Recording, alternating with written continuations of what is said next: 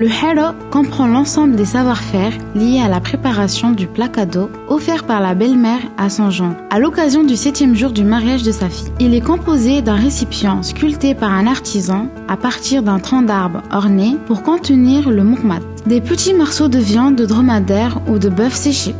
La viande séchée est frite dans du beurre et ensuite conservée dans du beurre clarifié, puis versée dans un récipient de forme ovale. Ce récipient placé au creux du sati, un réceptacle confectionné avec des fines de liane de feuilles de palmier tressées. Il est contenu du dessus par un dium de date pétri dans des ingrédients.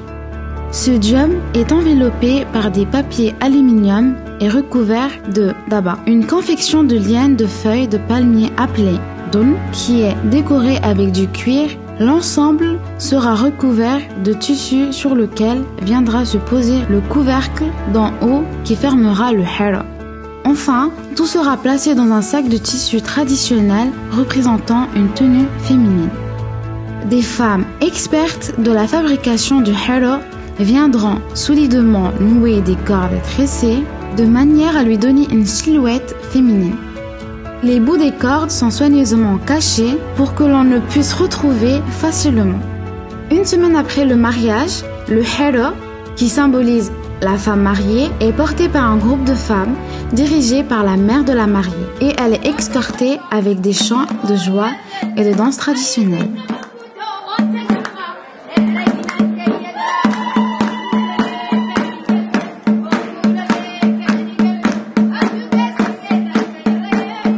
Cet événement s'appelle Diro et les amis du marié se retrouvent pour fêter et marquer la fin du septième jour des mariés.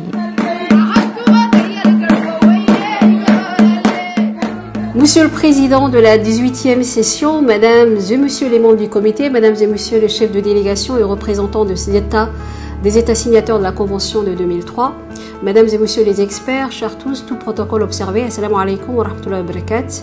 C'est pour moi un réel plaisir de communiquer avec vous en cette circonstance exceptionnelle qui est la 18e session du comité intergouvernemental de l'UNESCO organisée en ce moment à Kassan, au Botswana.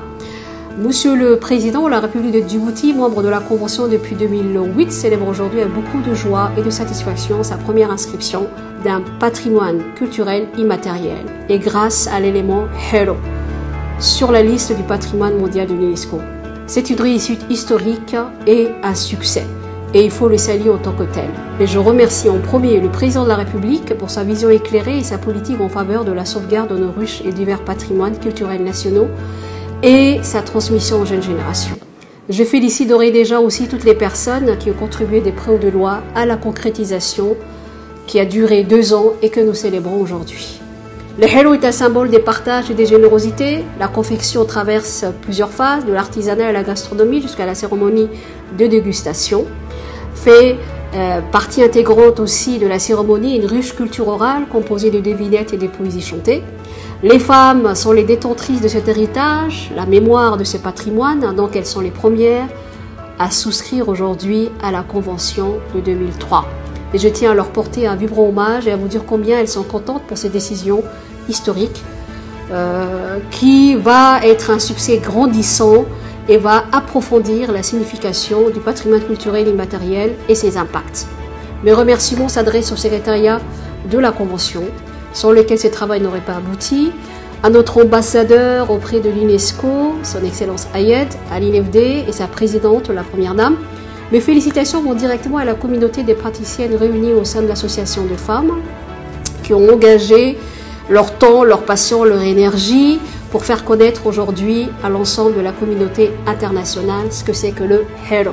Je ne saurais terminer mes propos sans signaler que grâce au soutien financier, financé accordé par l'UNESCO, nous avons bien avancé dans nos travaux et nous sommes fiers de la réalisation de plusieurs activités telles que la création de l'association des femmes, la formation de 30 filles par les praticiennes et la formation des 30 enseignants au concept et mise en œuvre de la Convention de 2003.